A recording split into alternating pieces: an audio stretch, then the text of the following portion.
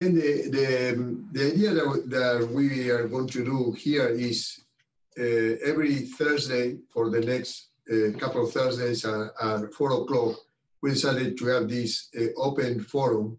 Uh, and, and with this uh, open forum, the, the first presentation is an overview of the COVID-19 uh, vaccines that I'm going to give. The idea is to give a presentation of 30 minutes and then have 30 minutes for, for questions.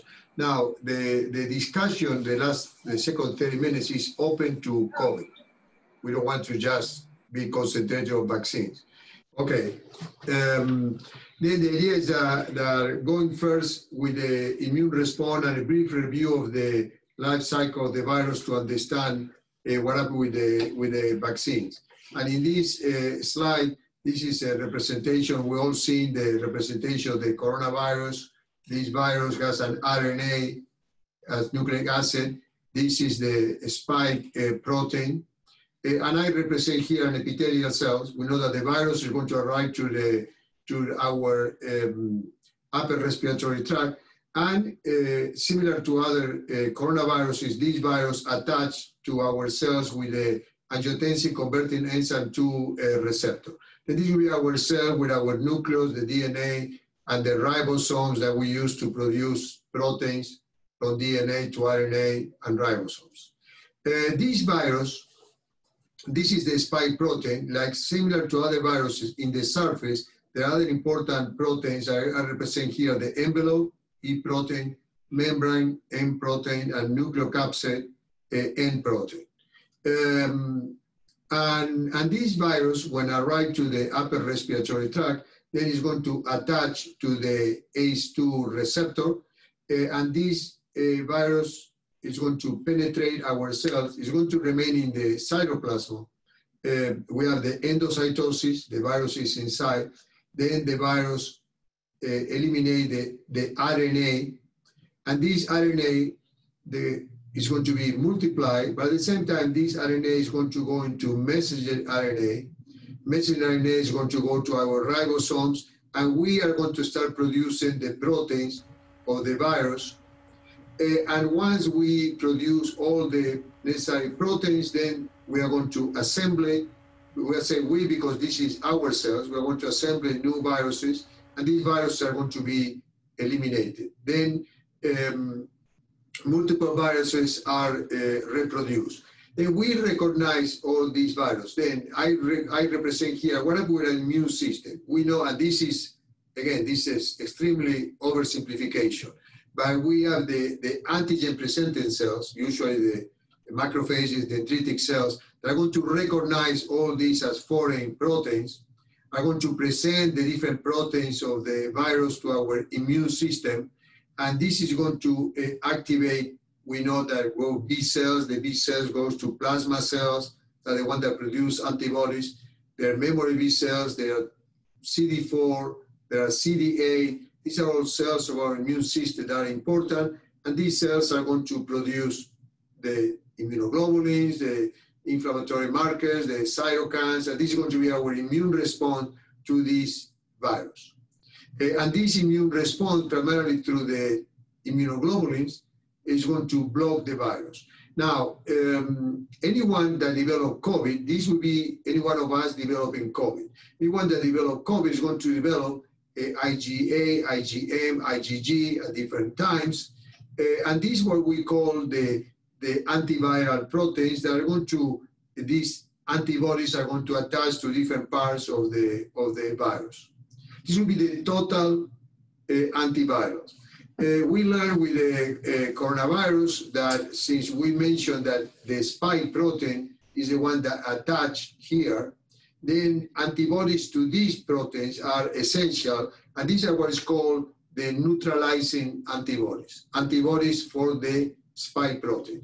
Then if our immune system produces a lot of neutralizing antibodies, we're going to end up with a virus that's going to look like this, that every spike protein is going to be blocked, then this virus is not going to be able to attach to any other cell because everything is blocked. Um, then at this moment, with this understanding, uh, what happened with, uh, with vaccines? Well, almost everybody that is developing a COVID-19 vaccine, the idea is that, okay, we need to present this spike protein, the S protein, to our immune system for our immune system to respond with a proper, uh, this will be humoral immunity and cellular immunity. Uh, and what are the mechanisms to give this uh, spike protein? Well, one uh, basic one is inactivated vaccines. And inactivated vaccines, I get the, the virus, I kill the virus, I change the, the, the, the nucleic acid. Then here we have a COVID-19 and SARS coronavirus that the, the RNA has been modified to the point that this virus, again, we don't call that the virus is dead because the virus are not alive, but we say inactivated. But essentially, he said, you believe that viruses are alive, well, this is we are a dead virus. Uh, and, and essentially, this dead virus is what is injected into the muscle, and then these antigens are going to be presented.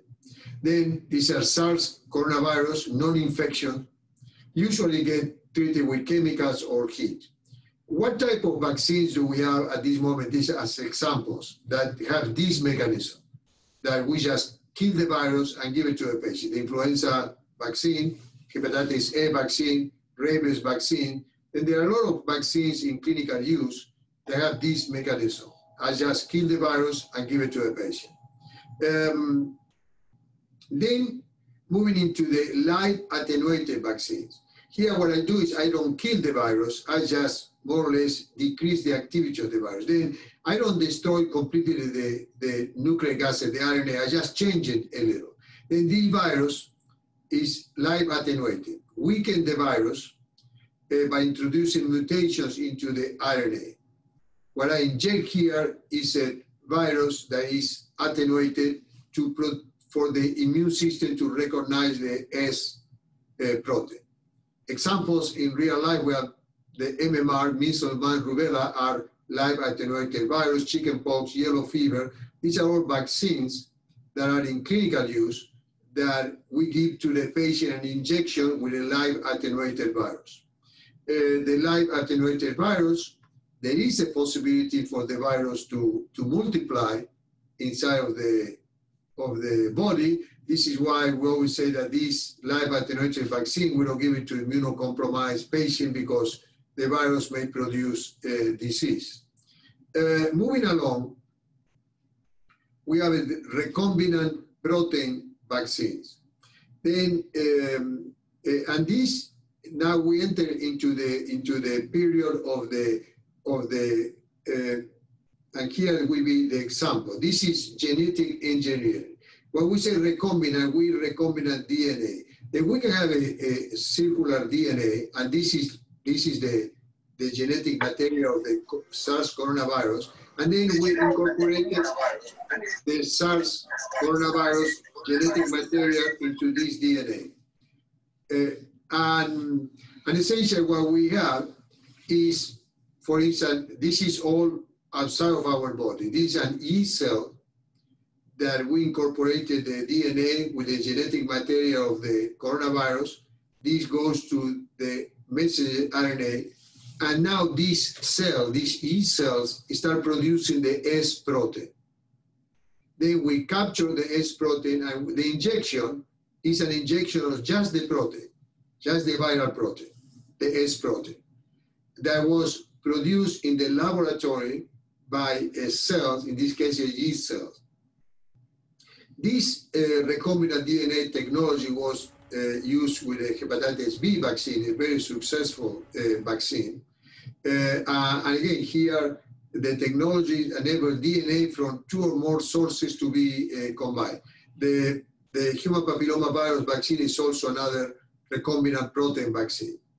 Then we see that until now, what we have done is everything is produced in outside of the in the laboratory and we give the injection with a as, as we go here, we give injection with an activated virus, with a live attenuated virus, or with a protein that was generated in the laboratory from an E cell uh, from the combination of DNA with the genetic material of the virus.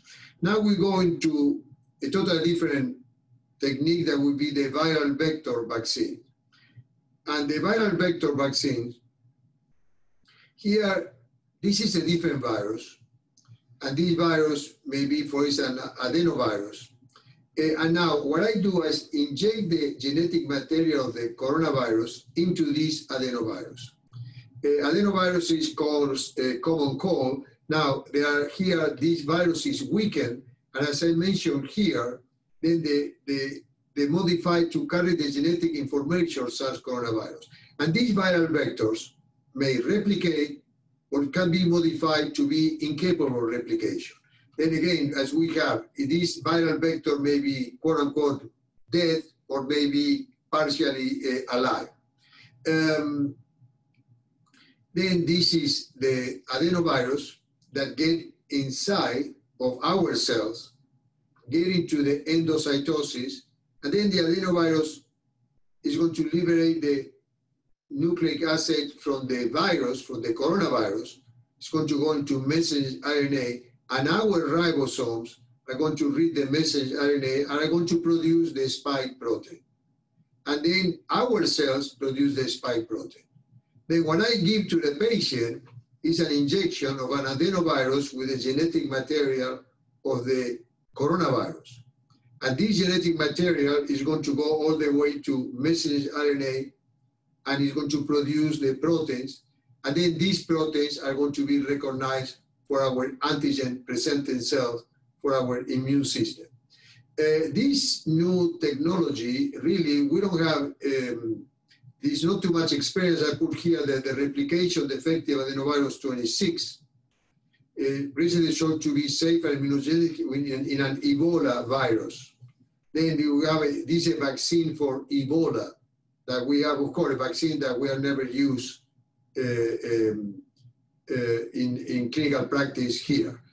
Um, every each one of these that I described, is usually two, because at this moment there are more than 150 uh, vaccines um, in development. There are more than 30 in clinical trials. Then when I say viral vectors, there are different viruses that can be used, but this is the concept when you describe viral vector we inject the genetic material through a virus.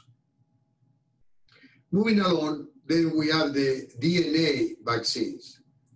Uh, and here the concept of the DNA vaccines is that, that essentially I get, a, again, a DNA, um, and this DNA usually for humans are called a plasmid, DNA plasmids, that are circular elements of, of DNA that carry genes, and then and I injected into this DNA plasmid. Essentially, I incorporated and recombined the genetic material of the virus. This DNA plasmid get injected into the into us. The plasmid get into the cytoplasm. The plasmid get into the nucleus, and then here you have the the DNA goes to RNA. The RNA goes out, goes to messenger RNA get to the ribosomes, and we start producing the spike protein that is going to be recognized by our immune system. And this will be a DNA uh, vaccine, and again, multiple companies are working with this uh, uh, technique. And finally, there is the RNA uh, vaccines, and these RNA vaccines this will the, the simplistic approach that this is the RNA that may be the, even the messenger RNA from the coronavirus. Now, uh, since these are a small piece of protein, this can be easily destroyed when you inject it, then usually there is a, a, a lipid particle around to, to protect the RNA. We inject the RNA, goes into the cells, and this goes into messenger RNA and go directly to the ribosomes, and the ribosomes translate from RNA to protein. We have the spike protein that's going to activate the, the immune system. There's some companies working on with RNA itself or with messenger RNA. There are different companies working with this methodology. When I discuss the DNA technology and the RNA technology. I cannot put here any example of vaccines at this moment that have been used because we don't have any vaccines that have been used for DNA or RNA uh, technology. These are new technologies, and we don't have any vaccine has been approved uh, yet. Then what I have here is the, go back to the concept that this will be the cycle of the, of the virus, and this is how the virus, we are in contact with a lot of spike proteins and also other proteins of the virus. All the vaccines have the same concept. I'm going to give a vaccine that somehow are going to present the spike proteins into the antigen presenting cells. Uh, is important, probably you've seen in the literature that, that these vaccines have been tested in, in, in monkeys or in, in, in humans, uh, and we are interested in knowing what happened with the, with the immunological response. How much IgG is produced total, how much of the IgG is what is called neutralizing antibodies, the antibodies are going to attack just the spike uh, uh, protein. And the other thing that is important is what happened with the, with the cell immune response. What happened with the, how many plasma cells do we have? Are we going to produce memory B cells? Because these memory B cells are going to go to the bone marrow and are going to have, whenever we are in contact with the coronavirus, we are going to have immediate production of antibodies. How much of the helper T cells are going to be uh, activated, helper T cells, uh, because these helper T cells are important to help the B cells to produce better antibodies. And these helper T cells activated by the antigen, then the, the T cytotoxic T cells. This also needs to be produced ideally because these cytotoxic T cells, the one that goes and whenever they see one of our cells with virus inside, they go and destroy the cells. It's called cytotoxic. Uh, then these are critical for our immune response to viral infection. What I try to say here is that the, the immune response to a vaccine is not just the antibodies. This is why we think that, that we are going to have several vaccines probably in the next couple of months that are going to be able to generate antibodies. But what happens with the rest of the immune response, uh, we still don't know. Uh, and the, the other question is that we still don't know with the vaccines what happened with the immune response, for how long the immune response is going to be there. And not only this, what happened with these other cells that are going to be uh, important. Um, some of these cells, for instance, plasma cells, I'm going to mention are the bone marrow. This is why in some uh, studies of, of uh, vaccines, uh, participants, uh, sometimes we are going to need to get blood to figure out what happened with the antibodies for how long you have good antibody levels. But some are suggesting that some participant women need to, to have a bone marrow biopsy to figure out how much of plasma cells are there. Uh, and we are going to be, it's going to be very important, sophisticated determination of all the immune response to see from these 50 vaccines that we're going to get what's going to be the, the, the best uh, vaccine. Uh, and the other consideration for all these vaccines when we have this immune response. And this immune response is going to be able to completely block the viral infection or the vaccines, as happened with other vaccines in, in adults that we have, we still are going to have the infection, but we have the modified infection. And this has been, we discussed this a lot with our patient with influenza vaccine. The patient get influenza vaccine oh, but I'm still get influenza. But the hope is that probably you still get influenza, but you don't get influenza pneumonia, you don't go into intensive care unit with influenza. Even though you have the influenza vaccine, but you have a mild case of influenza. Then all this is going to be important with COVID-19. We may have some patients that develop immune response they still get the virus, but the virus doesn't produce a massive inflammatory response. All these cytokines, they produce the cytokine storm, that is going to be what is going to put the patient with COVID-19 into intensive care unit on a ventilator. Then it may be that some vaccines may not prevent COVID, but may allow us to have a mild case of COVID. And these are all things that we need to uh, better understand uh, as we keep studying these uh, uh different vaccines.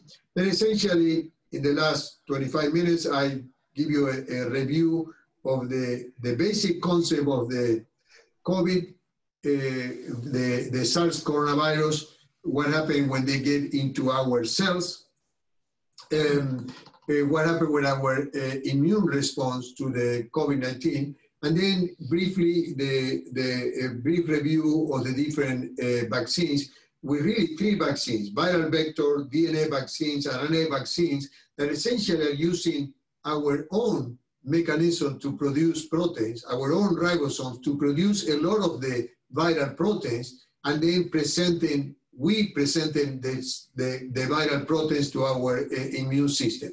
A totally, uh, again, uh, a different way to, to, to activate our immune system uh, with, the, with the hope that this type of presentation is going to produce a more comprehensive activation of the immune system and a better uh, immune response. There's a lot uh, to learn uh, with still with COVID-19 and now with the vaccine.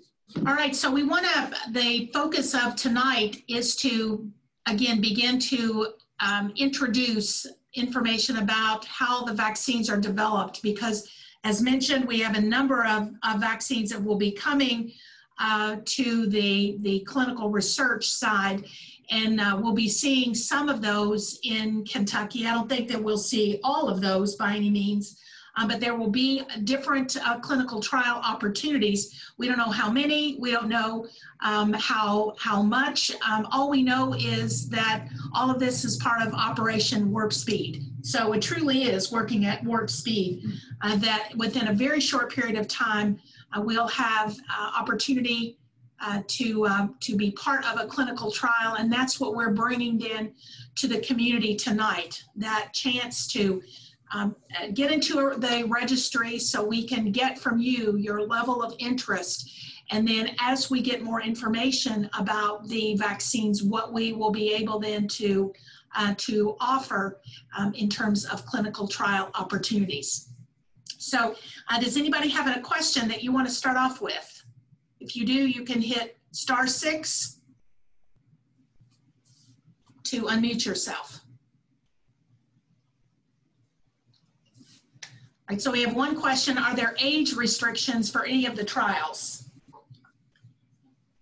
Uh, um, uh, moving uh, forward, uh, this, well, I mean, I, you, I started talking. Go, go ahead. Go ahead. Uh, um, again, um, because uh, uh, Forest is going to discuss this this coming um, uh, Thursday, but just as an anticipation, when we are in a phase three, as we have now, but Forest is going to discuss preclinical phase one, phase two, phase three. The, the, the phase three is the studies that we're going to do now, and, and really are based on, on how the vaccine, in the efficacy of the vaccine.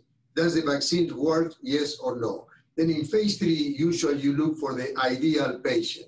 And in these vaccines, at this moment, usually you start with patients that are going to be 18 years of age or less than 60, because this is the ideal patient. And the ideal patient is 18 to less than 60, and the ideal patient is also a patient without too many uh, uh, comorbidities. Then, uh, but, but, but usually we have this phase, then we, we learn, we study, we go to a second, another phase, another phase. What we learn now with these vaccines is that they plan to do almost all at once. Then if we were to start with this vaccine, 18 to 59 is going to be uh, probably in September, and then by the middle of September, maybe more than 60. By the by October, maybe comorbidities. Then this is going to move so fast that we are going to have age restrictions, but but but I'm sure that that uh, the elderly that usually goes six months, one year later is going to be probably in October, and and pediatric as soon as we know that the vaccine is safe in adults, we're going to move to pediatric. This is everything is moving at the same time. Then everything that we knew about vaccines in the past doesn't apply here anymore. So some people have asked about, you know, why the emphasis on healthcare workers? Um, why is that the, the focus? So if you think about the importance of a vaccine, what we, in a vaccine trial, we're trying to figure out if it works. So if the vaccine is given to people that aren't exposed, then how long will it take you to find out if it prevents illness? If, if very few people are exposed. So the idea is to go to the highest risk populations because we know part of your work, part of your interaction are with patients all the time. So by looking at healthcare workers, we hope to be able to see um, what the level of infection results and the difference between those that receive the vaccine and those that receive a placebo because they, the vaccine trials will have to have a placebo control that will let us know. You would think that individuals who receive the vaccine have less uh, illness than those who receive the placebo. So it'll be important to make sure that you have an at-risk population that you are, are vaccinating and that you have a placebo as a comparator. And uh, we, we mentioned this uh, many times, but we're going to repeat it again today, that, that, that is February. Um, we go back in history at that point in February, still the idea was that this is a problem in China, the same as the other coronavirus is not going to get into the United States. Uh, but we are reading the first article from China published in JAMA that this is the first case report 138 hospitalized patients with COVID 19 in China. And what was shocking is that from these 138, there were significant number that the hospitalized patients were all healthcare workers.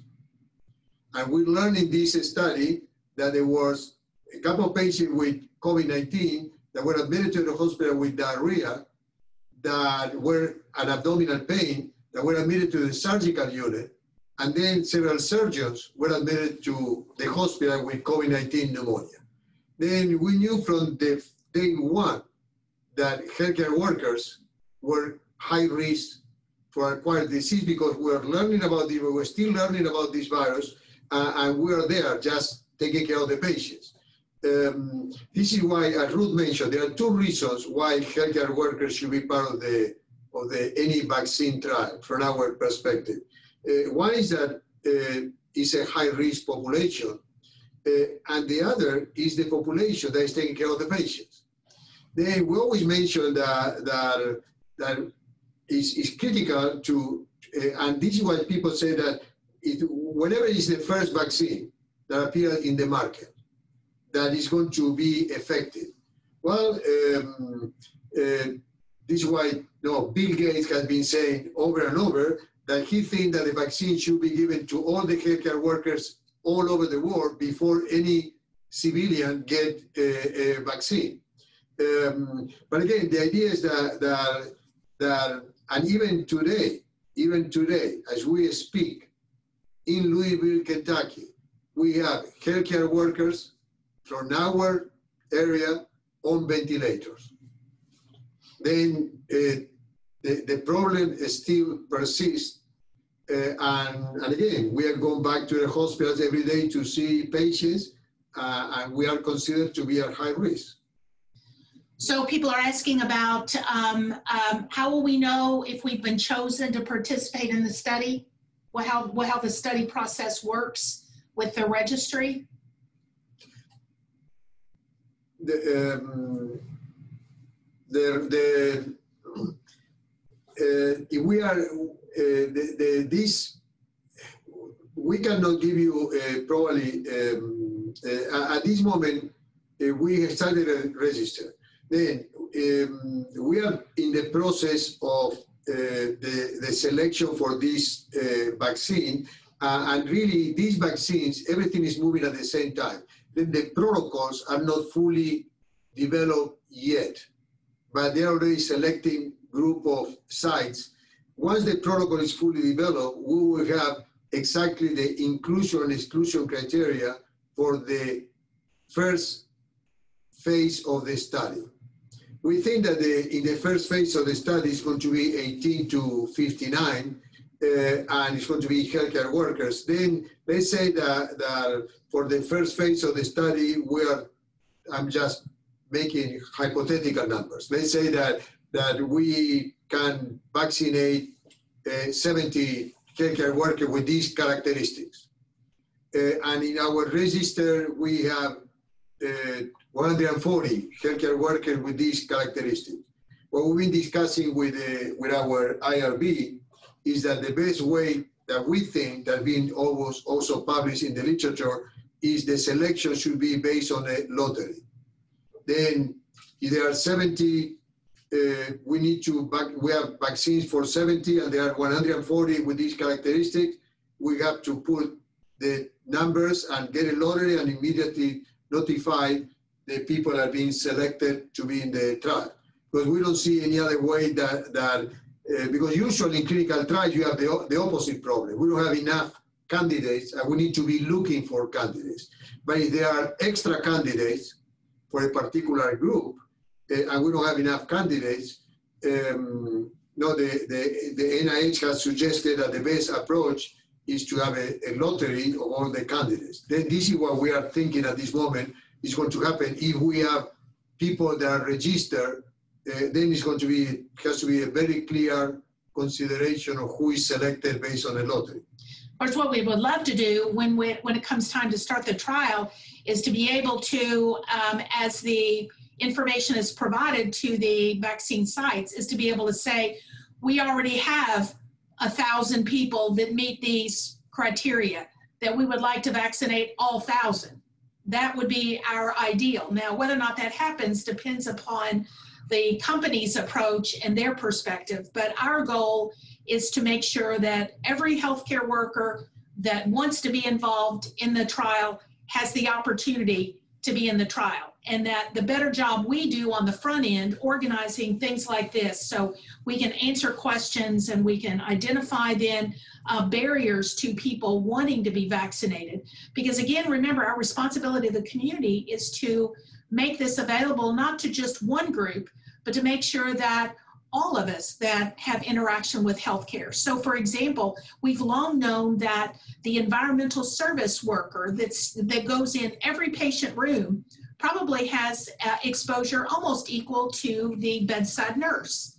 So we need to make sure that we are enabling then any individual that has access with the sickest people, which are those in the hospital, have uh, the opportunity. Likewise, those in long-term care. We've seen disease in long-term care facilities. So our goal is to make sure that we get this message out so we can then begin to look at some of the things that you have asked about you know, who, uh, what types of comorbidities. If you have diabetes, what does that mean?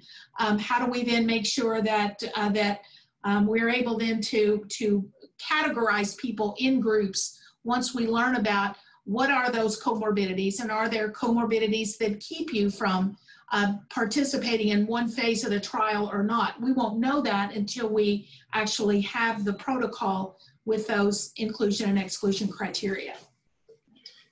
That, yeah, go ahead. Well, and people are asking several questions, and I thought we'd just try to get through a lot of them, but several of them, um, it'll depend on which vaccine we have, and the reality is we may have one, we may have five. So we can't answer all the questions specifically, but for example, somebody asked, um, are there any comorbidities that are absolutely contraindicated? And uh, again, that'll depend on the protocol, but in general, a lot of times people who are pregnant are excluded or, or who are on dialysis are excluded. But with this, everything's new. Maybe there'll be an opportunity for those people. Uh, a lot of times people with HIV are excluded, but some protocols are allowing those who have controlled HIV, but not those with AIDS. So that's another way that people with comorbidities are allowed. There's probably people who have autoimmune problems. For example, if you have autoimmune thyroiditis, that may confuse a vaccine study because you already have an autoimmune, an immune system problem. And so um, being able to discern whether uh, there's a problem with your immune system or there's a problem with the vaccine or it's helping you would be another factor that they don't want to have to deal with.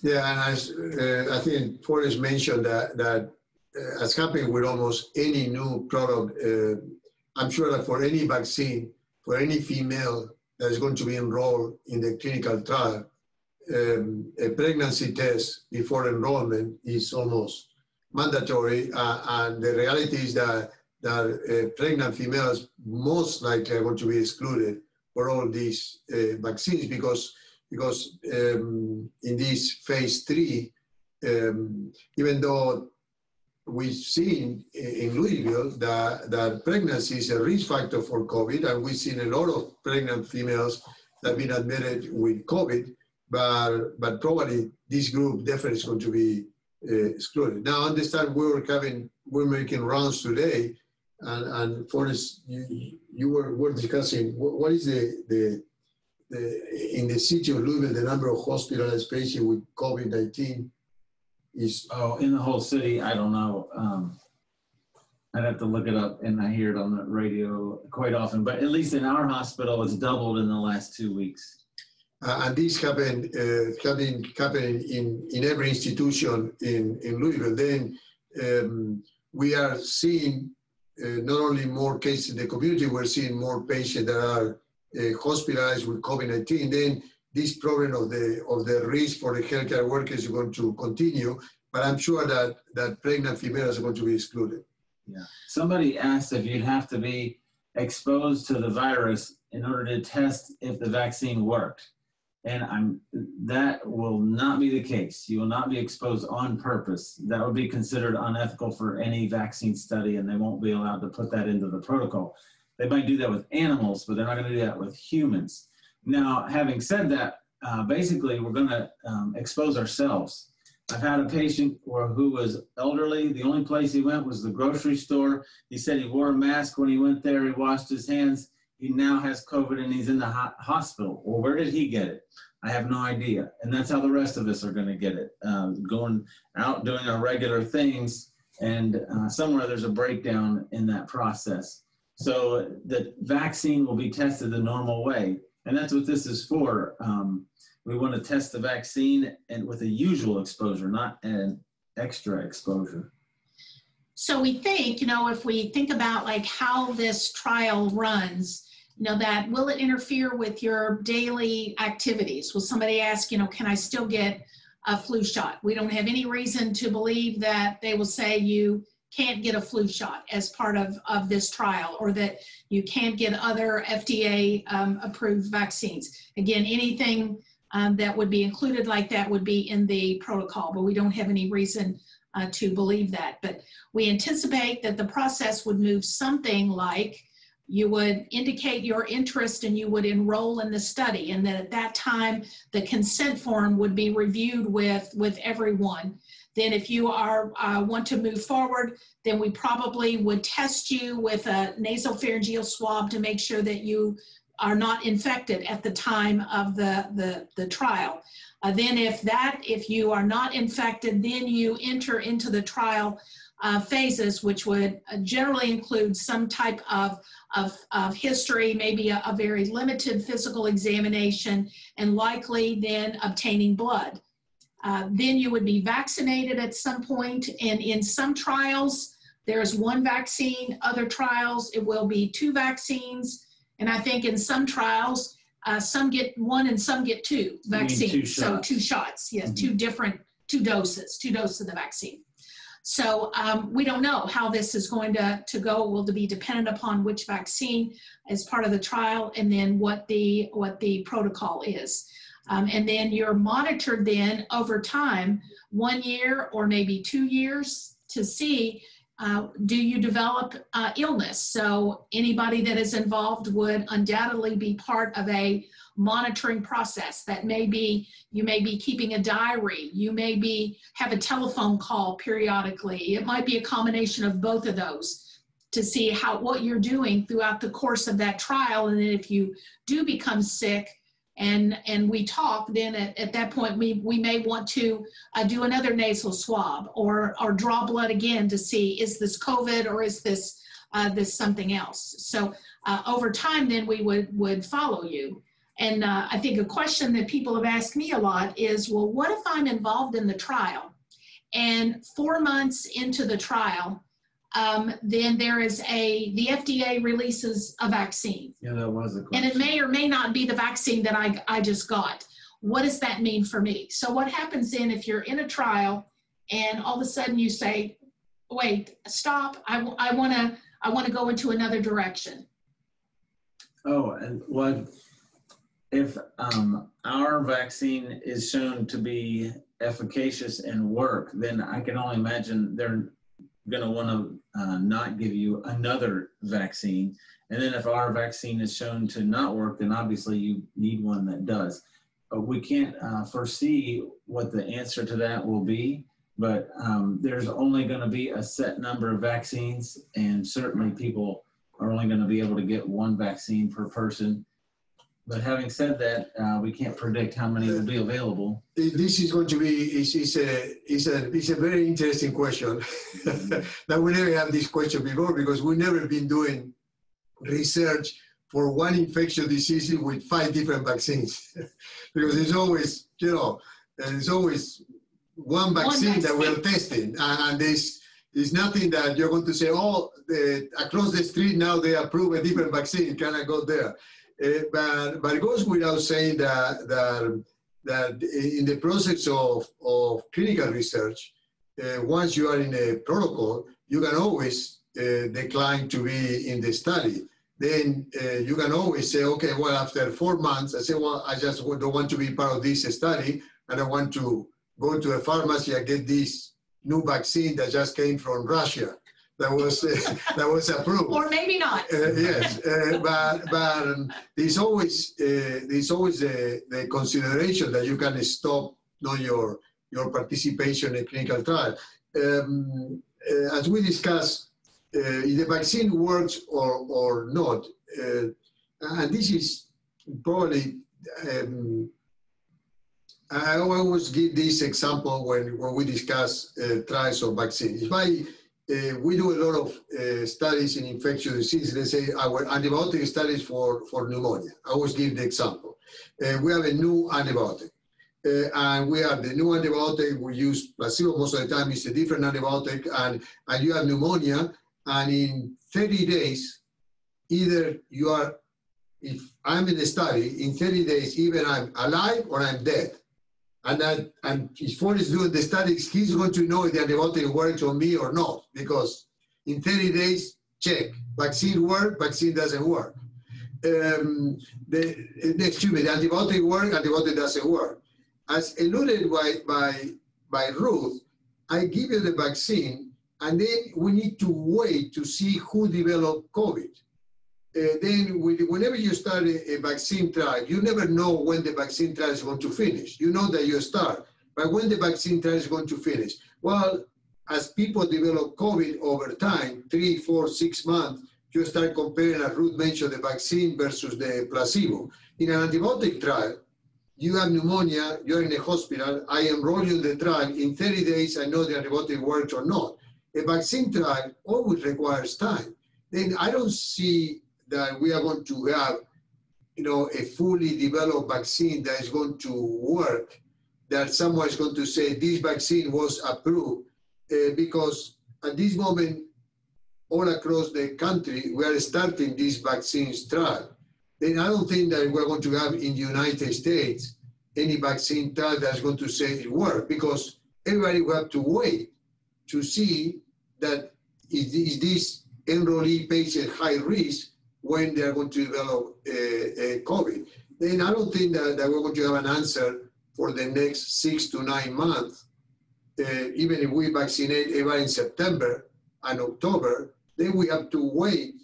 We're at risk, we're healthcare workers, we have to keep working, and then we need to compare uh, who get COVID, who doesn't get COVID, but this may happen in three, four, five, six months down the road compare the immune response, then um, I've been wrong before, but I don't think that people say by the end of the year we're going to have a vaccine. Uh, there's no time. I think, you know, I think really what they mean is that we'll have a trial that is ready to get started at some level, at some, yeah, at but, some but number. It's, but it's not, it's not that we're going to have yeah. a vaccine, unless, as Forest mentioned, as people suggested, unless we are, we allow humans to be infected with the coronavirus. That Forest said this would be unethical, but there's still discussion. Now, if we can, we can use, if I can give the vaccine to Forest and then in three weeks injected some coronavirus in the nose, then I can see the vaccine work or not. I don't need to wait six months for Forest to get COVID. Uh, but outside of this type of experimentation, I don't think that's going to happen. I don't think that we're going to have something that, that unless you live in Russia, that they can do it without data. But I don't think that's going to happen with the FDA. Then we are going to probably have six to nine months until we have something that the FDA is going to say, okay, this vaccine is going to be approved. Then if you get enrolled in this trial, you probably are going to, we are going to know what happened before any other vaccine get approved. And so none of these will make you sick so that you're able to pass the illness on to others. So again, that the question about will you be able to treat patients during the study without putting them at risk, we don't have any reason to believe that um, you would not be able to uh, to take care of patients. So you know we we've learned never say never and never say always. Um, but we don't have a reason to believe that at this time. So It's important that, that um, again, there are, there are four vaccines that essentially we don't inject the virus. We just inject the DNA, RNA, we inject the protein, but we don't inject the virus. Then essentially the possibility of infection is, is 0%. Uh, if the virus is dead, the possibility is 0%. I may say the only one that again is not tested here, but in China and other places, we have the, the live attenuated vaccine. That would be the only one that may be a hypothetical consideration because we're injecting coronavirus that is not completely dead. But the ones that are going to be tested here in the United States are all these um, uh, DNA, uh, nucleic, what is called nucleic acid vaccines, that you go DNA, RNA, or, or genetic engineering, these ones, the virus is not even around. And the beauty is that to prepare these vaccines for massive development, then you have a company that they're not dealing with the real virus. They're dealing with proteins. Then you, you don't have the, at this moment, we want to do research with coronavirus, you need to have a, here, we need to go to Shelby campus to our biosafety level three uh, to be able to culture the virus. Imagine you are dealing, you try to do a vaccine with a live attenuated virus, it's going to be very difficult to come out with millions of doses when you need to deal with a virus that is so dangerous. This is why the beauty of all these vaccines, that the virus is not even on the picture. And whatever we inject is has nothing to do with the with the virus. We inject just the nuclear material of the virus the one virus I can think of we had a hesitation with was the live influenza virus that was taken intranasally, and we asked healthcare workers not to get that one the other year. It's not available now that I know of. Yep, it, yep, uh, yep, re- restarted. So it's restarted. Oh, restarted. But, yeah, okay. but because but we have the experience now, so we don't even make that. Well, that and that hesitation so- was only based on theory. right, right, Uh, right. Somebody was asking about interaction of the vaccines, and of course, we're you're asking about interactions of vaccines that haven't been made yet. So of course we don't have an answer. Our experience though is that there um, is with pneumonia vaccines because there are two different types and the companies have studied that and what they found is if you get both vaccines on the same day, you don't get as good an immune response as if you separate them out. So uh, that's the only kind of interaction I could think of. If you happen to get two on the same day, you might not get as good a response as if um, you got one now and then one later. What about uh, for how long um, will participants' antibodies be be monitored? How often? How long? Um, again, that'll be according to the protocol, but we know that it will have to occur periodically, and I'm sure periodically plus whenever symptoms are developed. That that will be you know part of the of the decision. If you have a vaccine, um, uh, and we know that the design is likely to be um, one vaccine, one placebo. So it's a one to one ratio. So it may be at the time that you start and maybe six weeks, three months, even six months or a year later, get rechecked. Yeah, yeah. So the question was what percent of the population will need to receive the vaccine for it to be effective? And how likely do you think we'll have that level of adoption? Um, well, the, the, then the, the, the question refers to the concept of the herd immunity Uh-huh. or how many people in the community need to be protected from has antibodies to a particular infection before the infection stops circulating. And, and again, for coronavirus, uh, the, the researchers in the topic said we don't know, but looking at other uh, infections, some people suggest 90%, 80%, 70%. Um, then uh, at this moment, when then essentially it's going to be we need to we are going to need to have 70, 80% of the population uh, vaccinated. Uh, but I'm sure that in, in this case, there's always going to be people that doesn't want to get a vaccine. There's not a, there's always going to be, for whatever reason, some section of the population is doesn't want to get a vaccine. But as long as uh, everybody agrees that once you reach 70, 80%, then the rest is going to be protected even without the vaccine. So if you get the vaccine, you're protected. And the question is then what percent of the community has to be vaccinated before the rest of the community is protected? And that's the percent that you've given, maybe 70 to 90%. So I think, you know, this brings up the really interesting question about adoption. How do we, what is our responsibility in healthcare with respect to providing accurate information back to the community? So I think this is really why it is critical for for groups like this to come together to talk about this issue. Because when the time comes to to have vaccine available to the community at large they will look to healthcare workers for our uh, our recommendation. If we are hesitant about a vaccine that may help the population then we minimize the ability or the willingness of the population to accept uh, immunization. So, you know, if it is a if it is a vaccine that is working, we're going to have to figure out how we kind of come to uh, to grips with any other biases that we've had in the past or any hesitance, and help our community then achieve this level of immunity that will require be required for the herd.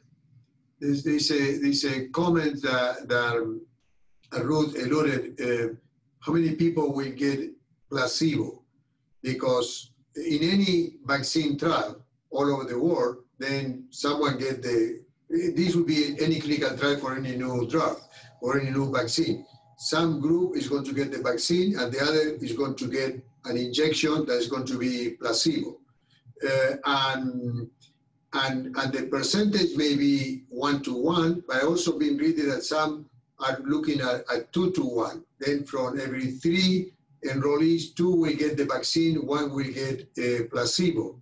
Um, but it's usually this type of, of percentage because, because under the close observation of the trial, the only way that the FDA is going to approve any vaccine is that you need to show that the group that received the vaccine has a significant reduction of acquiring COVID compared with the group that received placebo. Then any vaccine trial all over the world at this moment is going to have always an arm of placebo that is going to be the one that you say, well, uh, I receive, I think that I received the vaccine, but essentially is going to, this is going to be the arm that is going to be compared with the other one. This is why, um, going back to the other question, is that if six months, seven months into a clinical trial, there is a vaccine in the market. Should I get the, the vaccine? Well, the question is going to be, um, no, uh, some, the, you have to stop the being in the clinical trial and go and receive the, the, the vaccine.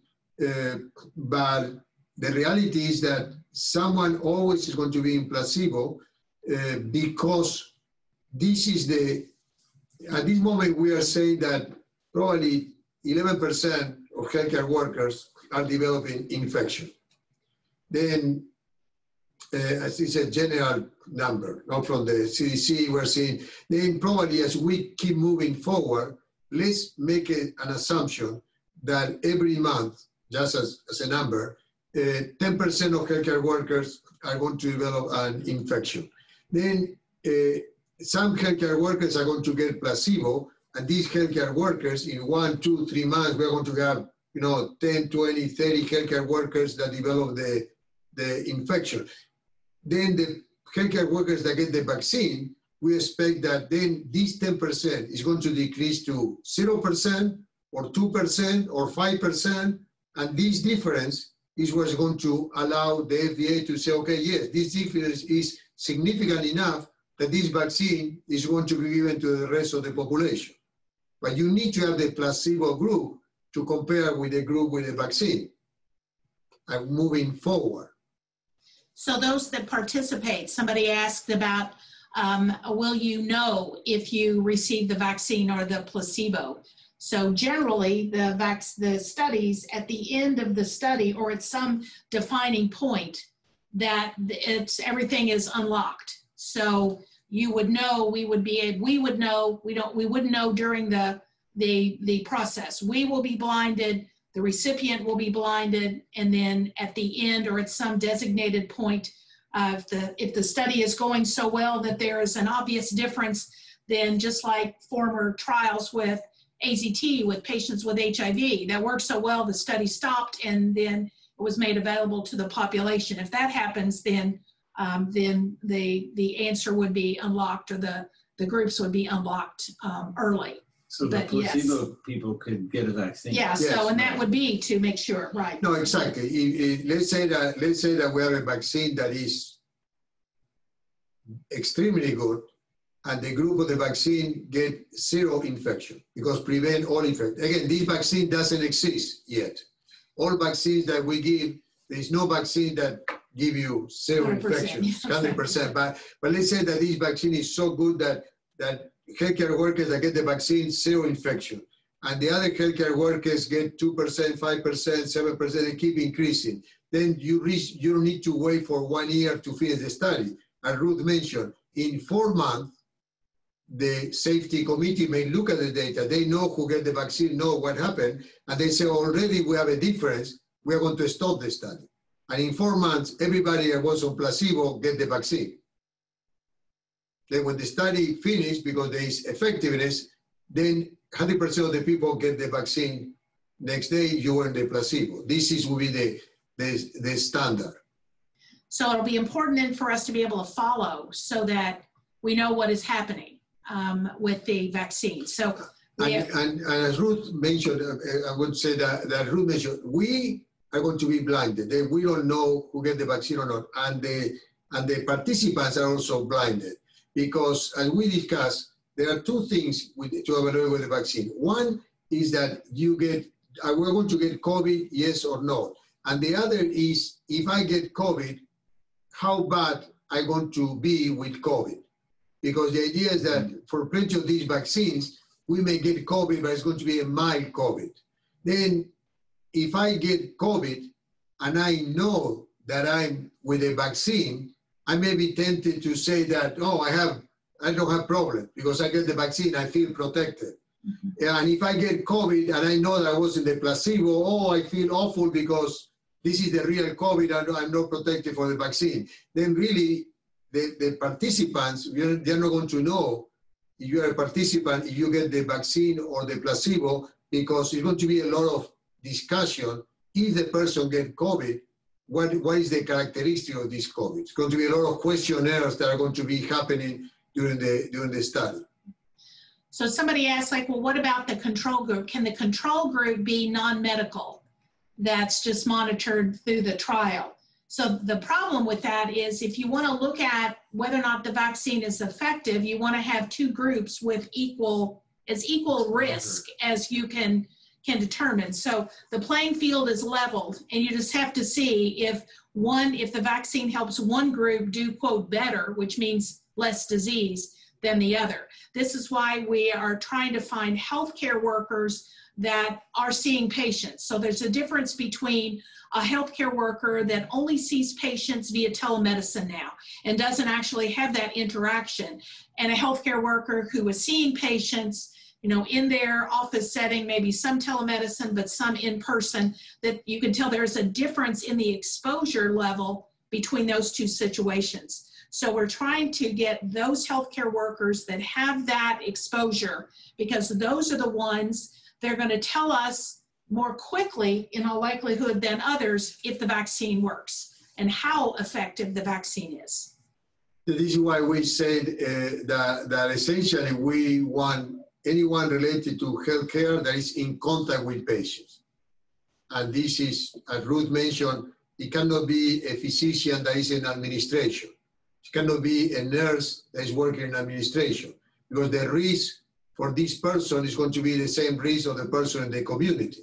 Mm-hmm. Then we want, we need to have anyone in healthcare that may be a hospital, a nursing home, maybe a clinic, but this person is in contact with, with patients. Because we know that, that this contact with patients, uh, and we always discuss sometimes uh, in the hospital, in the COVID unit, with the COVID patient, sometimes this is not too much of a problem because we have the full protection.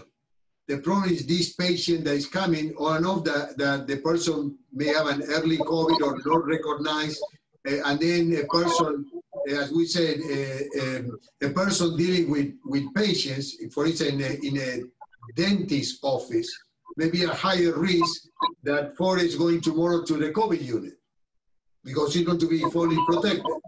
And the person that is cleaning the mouth of a patient may be uh, aerosolizing and maybe more problematic. Then we want, we want anyone in healthcare that is in contact with patients because they, as Ruth mentioned, everything has to be at the same level.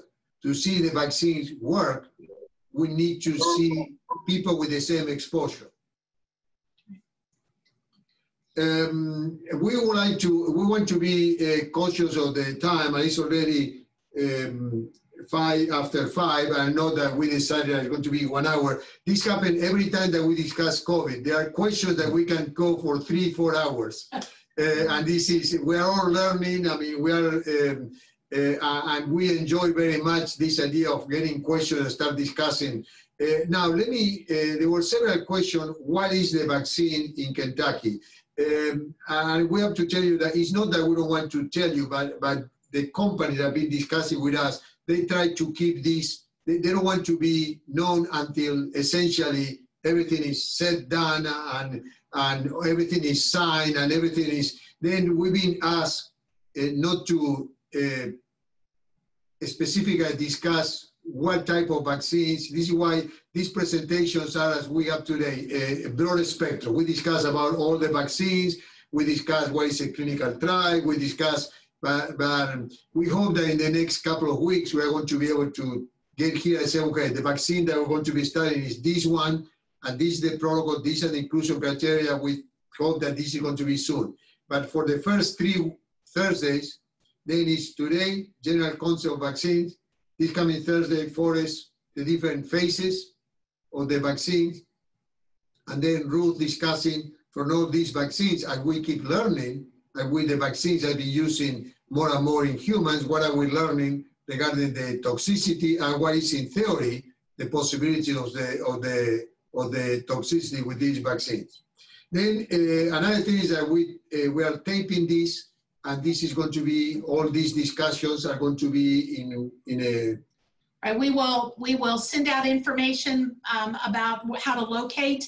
Um, it will, but we will post them on the website that you went to to sign up originally for the registry. So that's the CERID Louisville uh, website. Um, and then we'll have then the reminder link for next week's Zoom meeting, the time and so forth, and then a, a link or information on uh, where to go uh, for the video. I think we the plan is to have it on YouTube, so it will be available and you'll be able to share that because the biggest um, issues that we have now is we want to make sure that in our registry we have healthcare personnel uh, that represent our, our population uh, involved in, in that registry. And then we will be able to follow then the directives of the, uh, the clinical trial in terms of grouping by age and comorbidity and, and so forth. So, you know, our nothing better than we would love to say we have, again, a thousand healthcare workers in each group and then be able to say,